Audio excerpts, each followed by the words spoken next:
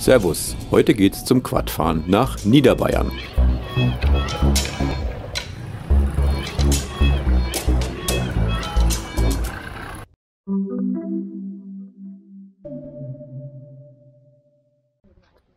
Mitte September trafen wir uns bei herrlichem Herbstwetter im Quadcenter Straubing. Insgesamt zehn Sportquads standen für uns bereit. Nach einer kurzen Einweisung in die Fahrzeugtechnik und die üblichen Formalitäten ging es dann auch gleich los.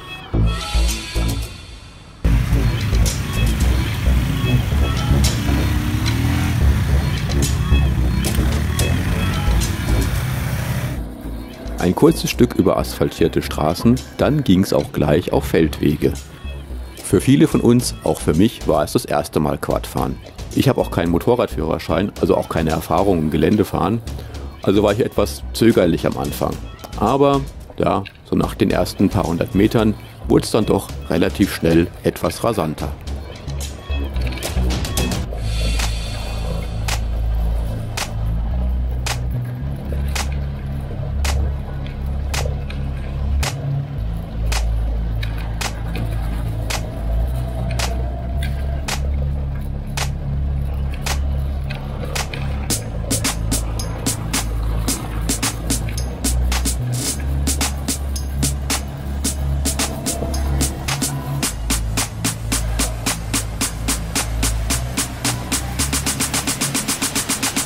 Kurzer Tankstopp und dann weiter.